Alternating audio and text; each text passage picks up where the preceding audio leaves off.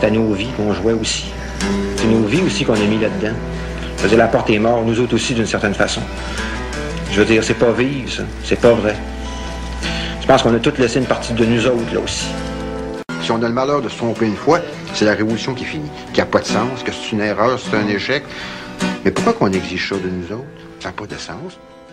Tu sais, ça pétait partout. Donc, les, en même temps, les, les luttes politiques violentes, c'était pas comme aujourd'hui. Tu sais, aujourd'hui, le monde, ils ont tout écouté passe-partout, puis on est tous des petits amis. Euh, puis les luttes politiques, c'est pas toujours propre. C'est- Mais moi, j'assume tout. Même si c'est difficile. Mais de l'autre bord aussi, par exemple. Eux autres, avec, ils ont à assumer des affaires.